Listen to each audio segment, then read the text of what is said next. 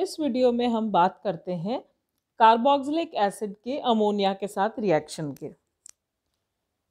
तो जब भी किसी कार्बोक्सिलिक एसिड का अमोनिया के साथ रिएक्शन कराया जाता है तो अमाइड बनता है। यहाँ में रिएक्शन लिख रहे हैं, ये देखिए ये रिएक्शन है। यहाँ C H three C O H क्या नाम है इसका? C H three C O H का? इसको बोलते हैं एसिडिक एसिड। तो इस एसिटिक एसिड का जब अमोनिया के साथ में अभिक्रिया कराई जाएगी तो क्या बन रहा है? ये बन रहा है देखिए C H three C O O N H four ये एक सॉल्ट बनता है इंटरमीडिएट ठीक है, जिसको अपन अमोनियम एसिटेट सॉल्ट बोलते हैं। और इसको अगर हीट किया जाए तो क्या बनता है? C H three C O N H two का फॉर्मेशन हो जाता है।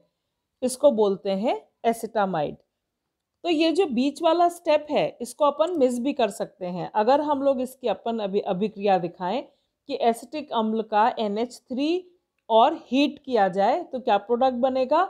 इसका बन जाएगा एसिटामाइड इसको यहाँ पर अगर लिख रहे हैं C six H five C O H के साथ देखें अगर। अगर इसको डायरेक्ट अपन लिख रहे हैं एन एच थ्री और हीट तो ये बन जाएगा C six H five C O N H two तो कुल मिला के देखने वाली चीज़ क्या है कि अगर अपन कहीं पे भी ये रिएक्शन आता है आपको लिखने के लिए तो यहाँ पर आप देखिए क्या करना है, ये ओ OH ग्रुप हटाकर यहाँ पर N H two group introduce कर देना है। सिंपल है ये रिएक्शन है ना? इसमें कोई बहुत आगे पीछे सोचने की ज़रूरत नहीं है। सिंपल अगर आपके पास में आ रहा है एक्चुअली ये रिएक्शंस आपको कहाँ होती हैं? आप लोगों को व्हाट हैपन्स व्हेन इस तरह से पूछा जाता है, क्या होता है?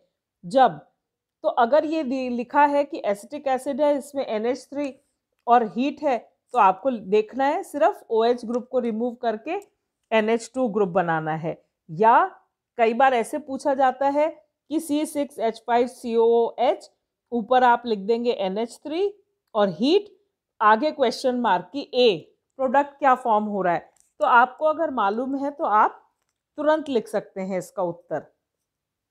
अब हम लोग इसका मैकेनिज्म देखते हैं। इसका क्या मैकेनिज्म है? यहाँ पे आप देखिए, यहाँ क्या हो रहा है?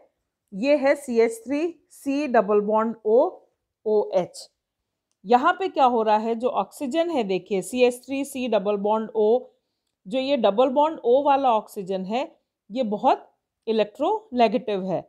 तो ये क्या कर रहा है? ये इलेक्ट्रॉन्स को अपनी तरफ़ पुल करेगा। ये इलेक्ट्रॉन्स को अपनी तरफ़ पुल करेगा तो जो कार्बन है, उस पर इलेक्ट्रॉन न्यून हो गया तो वहाँ पर एक पॉजिटिव चार्ज आ जाएगा। अब इस पर जब, जो NH3 है NH3 के ऊपर आप देखिए लोन पेयर ऑफ़ इलेक्ट्रॉन है। तो ये किसकी जैसे एक्ट करेगा? ये एक न्यूक्लियोफाइल के जैसे एक्ट करेगा। ये एक इलेक्ट्रॉन डोनर है। तो यहाँ पे अब ये क्या करेगा कि ये अपने इलेक्ट्रॉन्स इस कार्बन की तरफ़ देगा। ठीक है, समझ आ गया? ऑक्सीजन ने इलेक्ट्रॉन्स को अपनी तरफ़ खींचा तो यहाँ कार्बन के ऊपर इलेक्ट्रॉन्स न्यून हो गए, कम हो गए। तो इसको मदद करने के लिए जो NH3 है, ये अपना हाथ बढ़ाएगा और ये अपने इलेक्ट्रॉन्स इसको दे देगा। तो अब आप देखिए कि ये अगला जो स्टेप है, वो ये बन रहा है। ये देखिए कि सी एच थ्री है सी, ओ, क्योंकि ओ ने इलेक्ट्रॉन पुल किया है, इसलिए उसके ऊपर माइनस चार्ज आ गया। और यहाँ पर जो ओ एच है, ये ऐसे कैसे है? ओ एच के ऊपर लोन पेयर ऑफ़ इलेक्ट्रॉन्स है। और यहाँ पे जो ये एन एच थ्री था, ये इसके साथ जुड़ गया। इस एन एच थ्री को यहाँ पर मैंने एन एच टू और एच के फॉर्म में दिखाया है, ठीक है? तो अब क्या है कि क्योंकि यहाँ पे एन एच टू ने इलेक्ट्रॉन डोनेट किया है, इसलिए इसके ऊपर पॉजिटिव चार्ज आ गया है है ना? तो नाइट्रोजन है, ये इलेक्ट्रोनेगेटिव है, और क्योंकि इसके ऊपर पॉजिटिव चार्ज आ गया है तो ये ये बर्दाश्त नहीं कर सकता क्योंकि ये इलेक्ट्रोनेगेटिव है। तो ये इसके लिए क्या करेगा? अपनी इस कमी को पूरा करने के लिए जो इसके साथ हाइड्रोजन अटैच्ड है, उसका इलेक्ट्रॉन पेयर अपनी तरफ़ खींच लेगा। और इसको कुर्बानी दे देगा। इसको कहेगा, जाओ, बाय, टाटा। तो यहाँ से क्या हो रहा है कि ये जो electron N H two dash H ये जो इलेक्ट्रॉन है, ये इसको अपनी तरफ़ पुल कर रहा है और ये एच फ्री हो गया। और एच क्योंकि फ्री हो गया तो ये किसके पास जाएगा? इसके पास इलेक्ट्रॉन की कमी हो गई, ये अपने इलेक्ट्रॉन दे चुका है तो ये दौड़ के जाएगा इस ऑक्सीजन के पास, जिसके पास ऑलरेडी इलेक्ट्रॉन्स हैं। ठीक है, समझ आ गया। क्या हो रहा है? देखिए, फिर से एक बार बताती हूँ मैं आपको। यहाँ पे C S three C double bond हो, ये जो ऑक्सीजन है, ये इलेक्ट्रोनेगेटिव है, ये इलेक्ट्रॉन्स को अपनी तरफ़ खींचेगा। तो ये जो इससे अटैच्ड कार्बन है, इसके ऊपर पॉजिटिव चार्ज आ जाएगा। अब इस पॉजिटिव चार्ज के ऊपर ये जो NH3 है, ये इलेक्ट्रॉन रिच है, ये अटैक करेगा। तो ये आपका सेकंड स्टेप हो गया। अब यहाँ पे क्या है? जो NH2 है, ये पॉजिटिव चार्ज है इसके ऊपर। तो ये इसको पॉजिटिव अनस्टेबल है क्योंकि नाइट्रोजन इलेक्ट्रोनेगेटिव है, इसके ऊपर पॉजिटिव चार्ज आ रहा है। तो ये अपना इसको ख़त्म करने के लिए डिफिशियंसी को क्या करेगा? जो ये हाइड्रोजन है, इसका इलेक्ट्रॉन पेयर अपनी तरफ़ पुल करेगा और ये हाइड्रोजन को फ्री कर देगा। अब जो हाइड्रोजन है, क्योंकि ये इलेक्ट्रॉन डेफिशिएंट है ये ऑक्सीजन की तरफ़ दौड़ेगा, उसके साथ जुड़ जाएगा। और अगला स्टेप है, उसको अपन क्या बोलते हैं? प्रोटोन ट्रांसफ़र या टॉटोमेरिज्म। अगले स्टेप में क्या हो रहा है? ये फॉर्मेशन हो रहा है, आप देखिए। यहाँ पे सी एच थ्री आ गया सी आ गया ओ आ गया जिसपे नेगेटिव चार्ज है। यहाँ ओ एच टू है और आप देखिए एन एच टू है। अब क्या हो रहा है कि जो ऑक्सीजन है, क्योंकि ये इलेक्ट्रोनेगेटिव है, ये अपना इलेक्ट्रॉन्स इधर डोनेट करेगा इस बंद को जो आप देख रहे हैं। और यहाँ ओ एच टू एक बहुत अच्छा लिविंग ग्रुप होता है तो ये क्या करेगा? ये ओ एच टू अपनी मॉइटी लेगा यहाँ से और ये निकल जाएगा। ठीक है?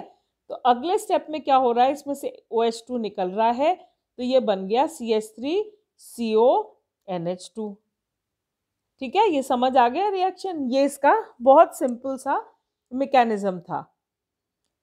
तो ये एक प्रकार का रिएक्शन है, जो दूसरा रिएक्शन कार्बोक्सिलिक एसिड का अमोनिया के साथ देखा जाता है, वो यहाँ पे अपन देख रहे हैं।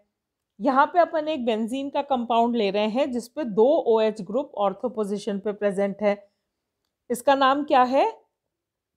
इसका नाम है थैलिक एसिड अब थैलिक एसिड की अपन अभिक्रिया करा रहे हैं, वही एन एच थ्री और हीटिंग। तो यहाँ पे क्या हो रहा है? सेम रिएक्शन होगा। क्या हो रहा है? यहाँ पे एन एच टू ग्रुप का एडिशन हो रहा है। तो यहाँ देखिए, दोनों ग्रुप पे ओ OH ग्रुप निकला और दोनों पे एन एच टू ग्रुप आ गया। इसको क्या बोलते हैं? इसको बोलते हैं थैलामाइड।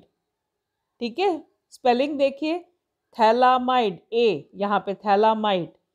अब अगले स्टेप में इसको अगर हम लोग स्ट्रॉन्ग हीटिंग कर देते हैं तो इसमें से क्या हो रहा है कि ऊपर वाले ग्रुप में भी C O N H two है, नीचे वाले में भी C O N H two है। तो ये एक ग्रुप में से एन एच टू और एक में से एच ठीक है? ये लेके एन एच थ्री निकल जाता है, ठीक है? किसी भी एक में से एन एच टू और दूसरे में से एच निकलेगा तो ये माइनस एन एच थ्री हो गया और ये प्रोडक्ट बन गया। आप देखिए एन एच थ्री निकल रहा है ना तो देखिए ये बेंजीन रिंग रह गई, दोनों सी ओ रह गए और एक खाली एन एच टू ग्रुप हो गया, जो नाइट्रोजन है। ये इसमें तीन वैलेंसी है तो इसकी तीन वैलेंसी सेटिस्फाई हो रही है, एक हाइड्रोजन से और दो कार्बन से। और इसका नाम है थैलीमाइड तो दोनों की स्पेलिंग में अंतर देखिए, जो ये बीच में बन रहा है, ये थैलामाइड है, जिसमें बीच में ए आ रहा है, और जो ये बन रहा है ऑन हीटिंग ये थैलीमाइड है, इसमें बीच में आई आ रहा है। और ये क्या है, ये मैं आपको बता रही हूँ, ये जो है थैलीमाइड, ये आपको यूज़ में आएगा जब आप नाइट्रोजन कंटेनिंग ऑर्गेनिक कंपाउंड्स पढ़ेंगे। उसमें ये आपके चैप्टर में आएगा, और ये मेथड ऑफ़ प्रिपरेशन इसका ये कैसे बनाया जाता है, वो ये मेथड ऑफ़ प्रिपरेशन होता है। ठीक है? तो ये दो बहुत इंटरेस्टिंग रिएक्शंस हैं कार्बोक्सिलिक एसिड के अमोनिया के साथ में। एक्चुअली क्या है, जो ऑर्गेनिक केमिस्ट्री है, ये देखने में टफ लगती है। पर एक बार आपको ये समझ में आ जाए कि कौन सा ग्रुप किस पे पॉजिटिव चार्ज आ रहा है, किस पे नेगेटिव चार्ज आ रहा है, कौन से इलेक्ट्रॉन ट्रांसफ़र होंगे, एक बार आपका फंडामेंटल क्लियर हो जाए तो ये बहुत ही आसान लगती है। जब तक आपको ये फंडामेंटल क्लियर नहीं होगा, आपको बहुत दिमाग में टेंशन रहेगी कि ये क्या हो रहा है, ये समझ में नहीं आ रहा, ये समझ में आ रहा है। तो बस एक बार आपको फंडामेंटल क्लियर कि जैसे कौन सा इलेक्ट्रोनेगेटिव है, वो इलेक्ट्रॉन्स को पुल कर रहा है तो उसका जो एडजेसेंट, एडजॉइनिंग कोई भी एटम होगा, उस पर पॉजिटिव चार्ज आ जाएगा तो उस पर इलेक्ट्रॉन ट्रांसफ़र कोई भी लोन पेयर या नेगेटिव चार्ज करेगा। तो इस तरह का अगर एक बार आपको समझ में आ गया तो बहुत आसानी से आप इसको समझ सकते हैं। Thank you.